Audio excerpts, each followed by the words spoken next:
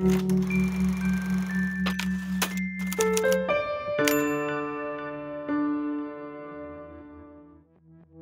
I was little, my cousins and I, we formed this performance group.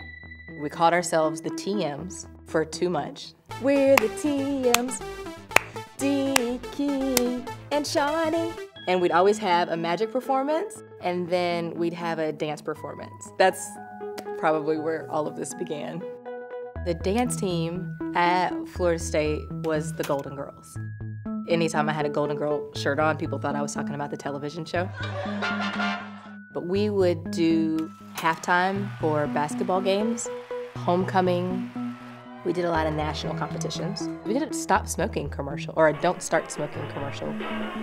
As soon as I got into college, I was immediately bombarded with major courses, so I'd always have my book with me.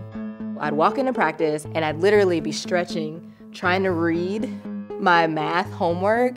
And they're like, Shawnee, what is your problem? I'm like, I have so much work to do. Like, if you had this much work to do, you'd be doing this too. I'm sure most people thought I was a big nerd.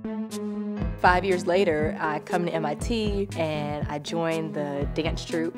And I go into the theater where everybody's getting changed. And I walk in the room with my book, kind of ready to hear the, the ridicule. And I look up, and every single person in there has either a laptop or a book. And I'm like, I found home. Everybody understands me here.